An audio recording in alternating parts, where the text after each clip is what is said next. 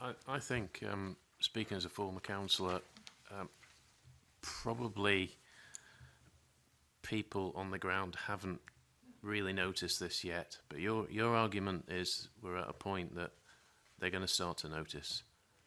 Libraries are going to start to close. Well, they already have started to close. Um, fees and charges going up even, even more. And if the roads budget gets cut, I mean, we're, si we're in a city here, which is a series of potholes and bits of road in between. Um, it, it's just going to get even worse. And pe people are going to be furious about this. Is that? I presume you'd agree with that. I would entirely agree with that. Yes.